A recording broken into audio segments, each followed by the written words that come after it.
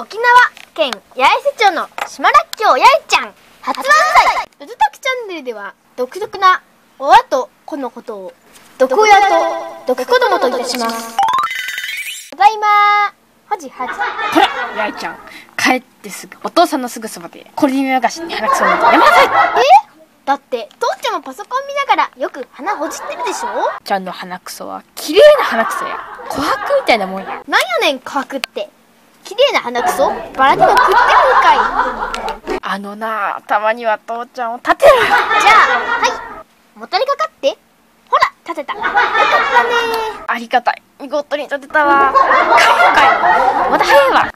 もういいよ。やってられん。今日から父ちゃんやめるよ。じゃあ何になるんや？父ちゃんの鼻くそ琥珀みたいバラの香りじゃもういいわ